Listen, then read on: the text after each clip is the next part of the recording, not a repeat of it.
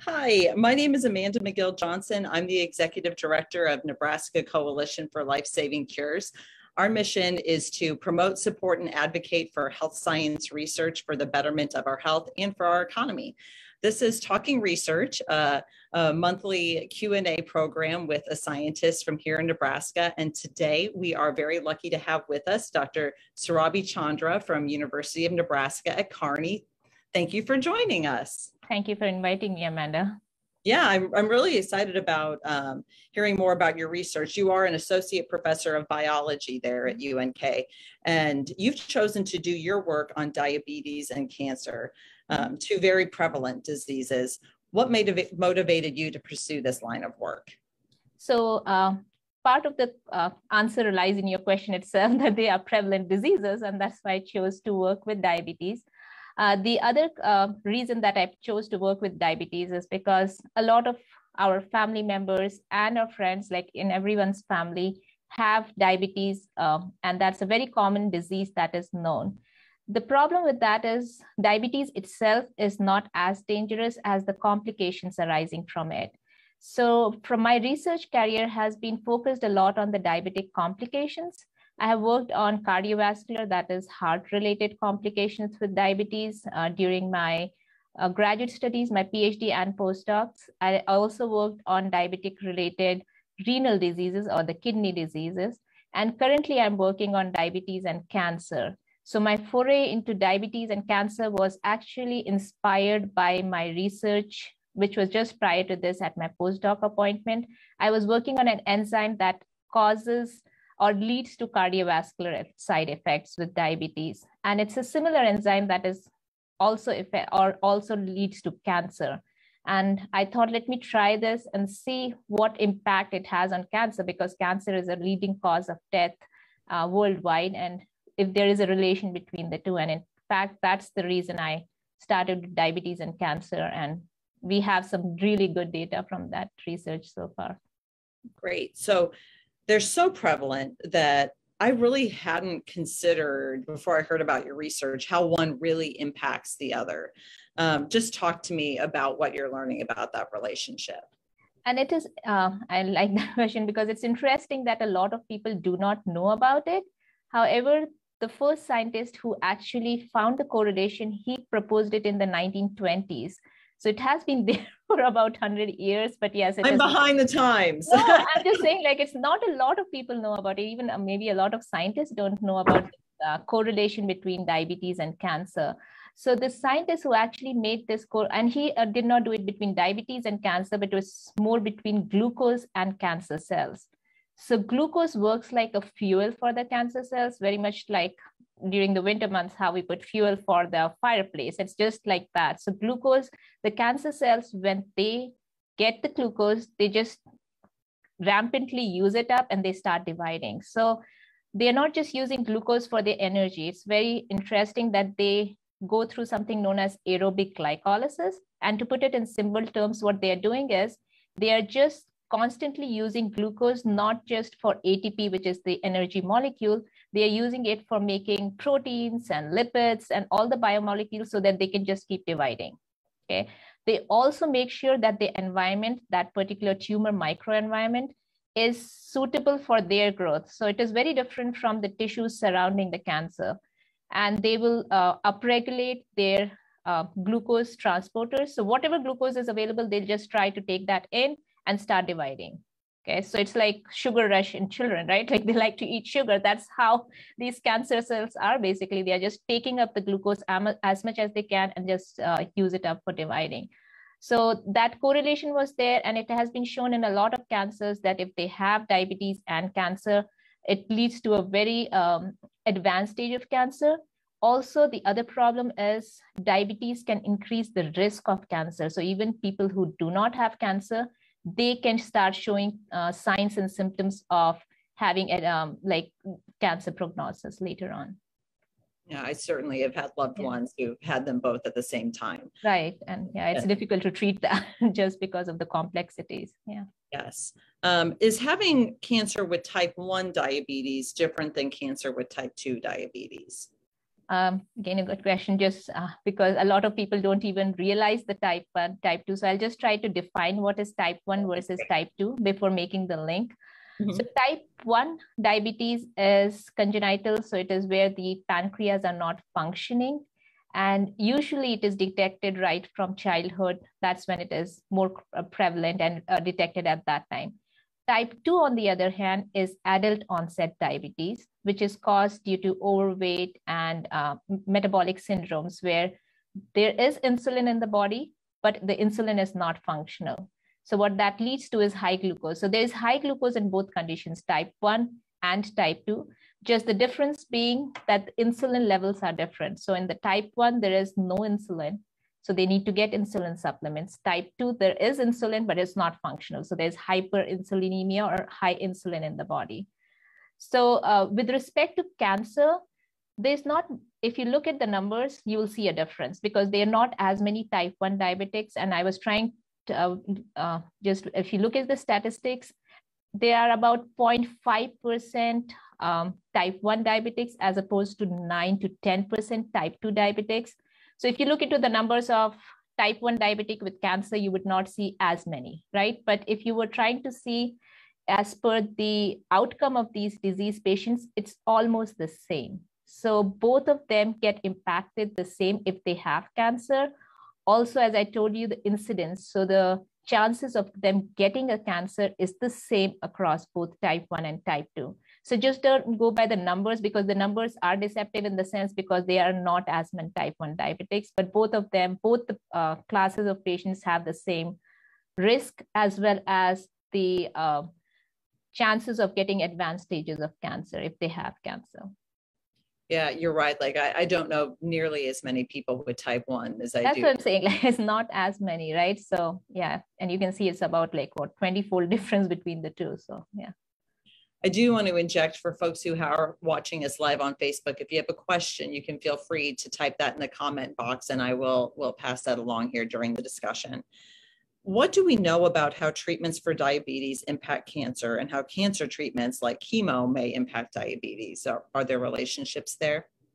Yeah, so uh, with diabetes, I think I'll start with some of the basic drugs that are used all over the world and then come to the cancer treatment. So I'll pr- talk with relation to diabetes impacting cancer.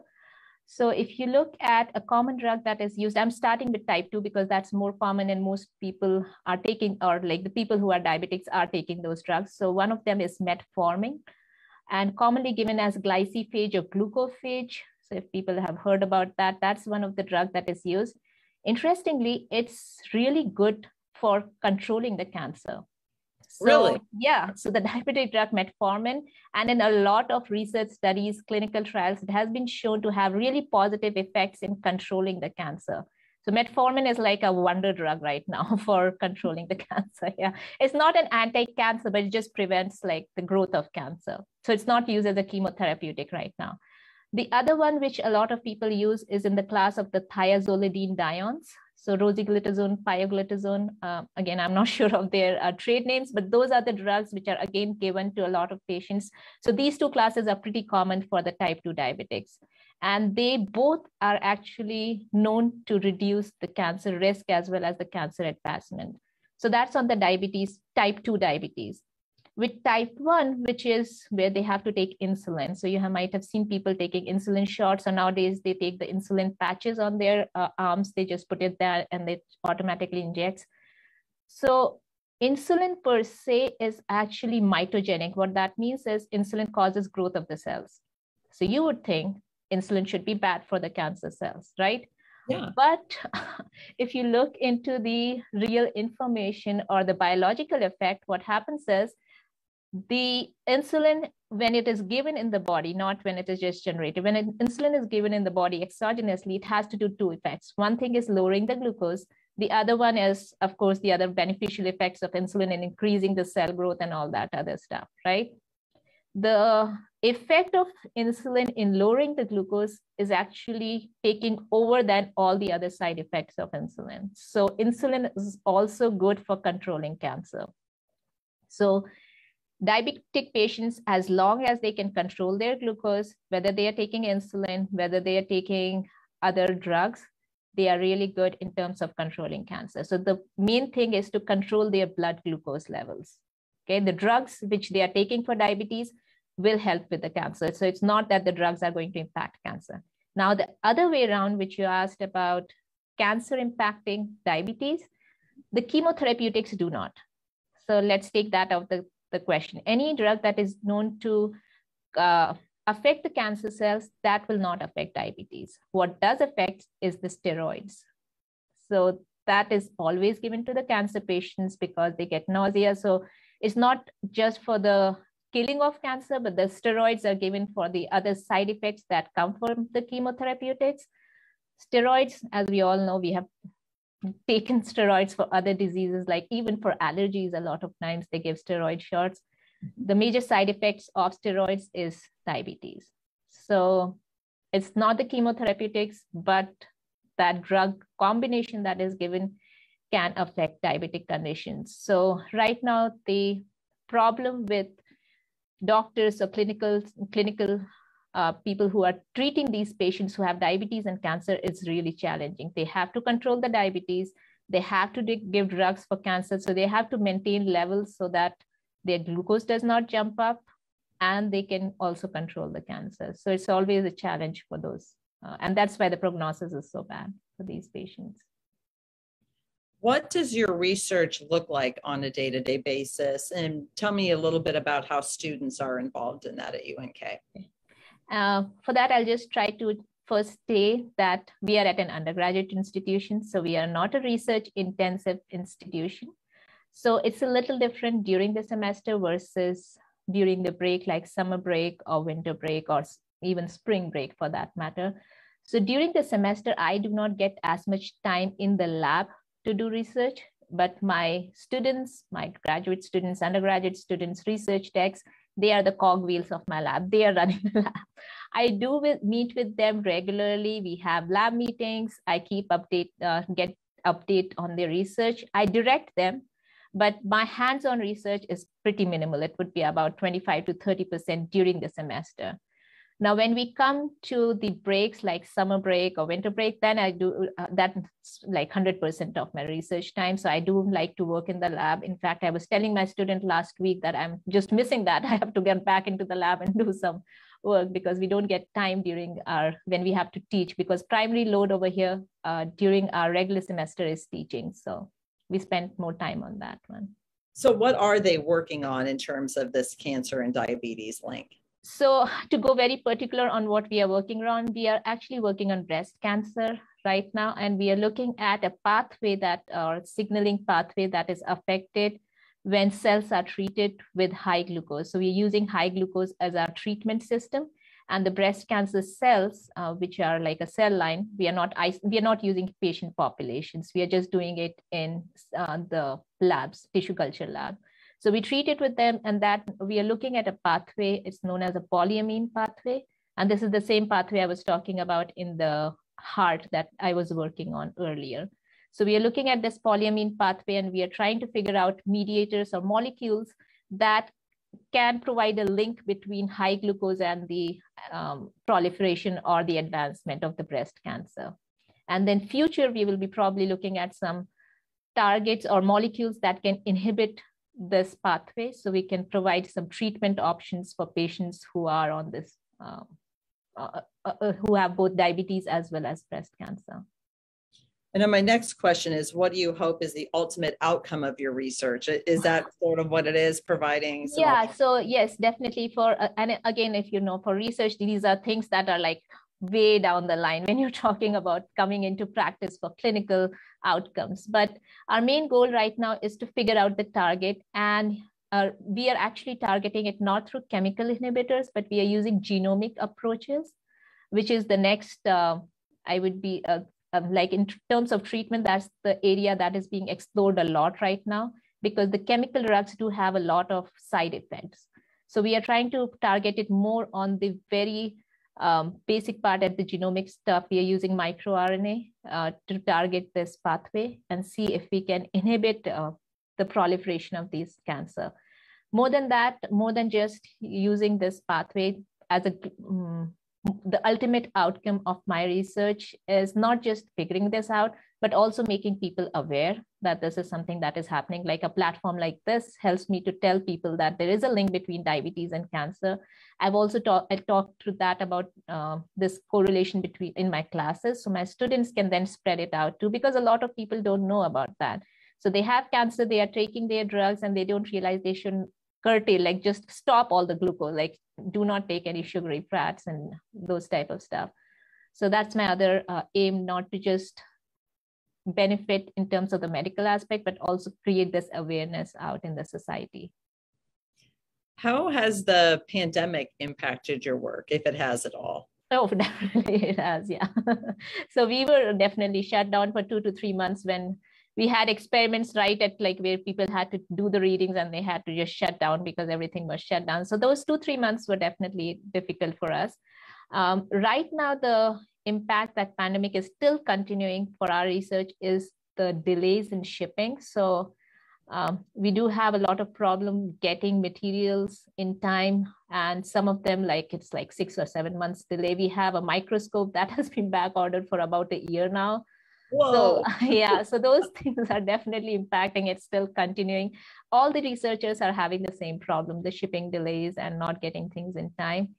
But more than the pandemic, something that really affected our campus, the science building here, was a flooding that we had last year, and that was just because of a pipe outbreak. But that def- that on top of the pandemic, that just delayed our research for six to seven months. So Oh, uh, wow. Thankfully, the, um, like we had good support here, so we have things going back in place. The students are working right now, so we are going good for now. So hopefully this summer we can catch up on what we have missed so far. And I'm really relying on my students and the time that we have to catch up on that.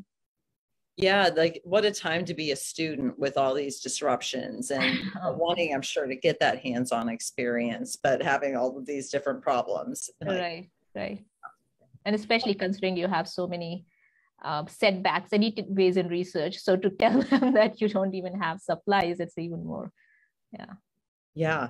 So, what advice do you have for students who might be interested in pursuing careers in research, especially maybe young women who are interested in it? Yeah, so uh, one thing that I always tell my research students is perseverance. Do not think that you will because when they come in, and especially thinking that you're working on a medical field, they think that you will have a cure right next day.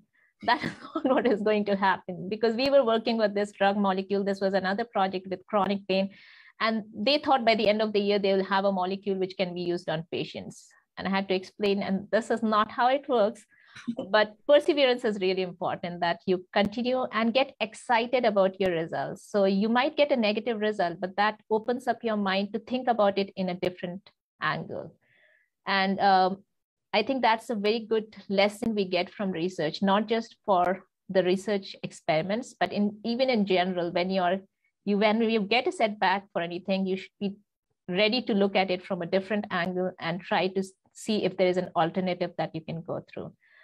With women in research what i i have a lot of women like more, most of my lab is uh, female students right now.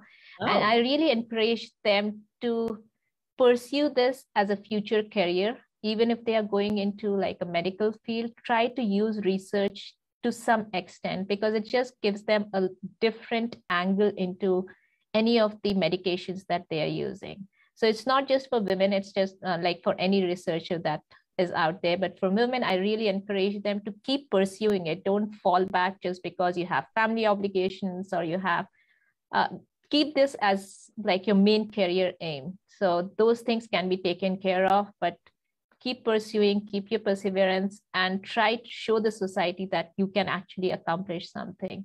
So hopefully, like my student just graduated, uh, she completed my first uh, undergraduate student. She just completed her PhD, and I'm excited about her. And hopefully, we can, I can make, uh, I can provide more scientists like that into the society in the future as well.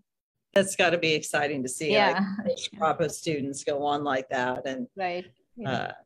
Is there anything I missed in terms of questions um, for you about your research or any other pieces of information you'd like to share? Um, I think uh, you had a lot of good questions in here. So I'm glad I could provide some information on that.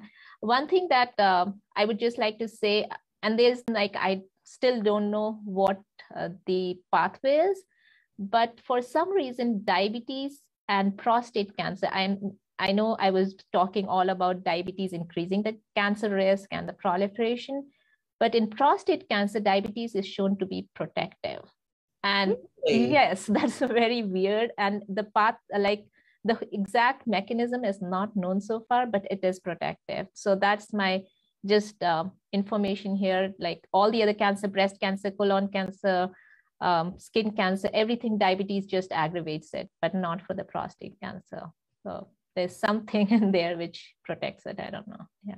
Fascinating. Well, right. thank you so much, Dr. Chandra, for joining us today. Thank and you, yeah yeah, for people watching, we'll be back a month from today with Dr. Peter Angeletti from UNL, and he'll be talking about cervical cancer and some of the things he's learning in that space. So uh, thank you for joining us and hope to see you again soon.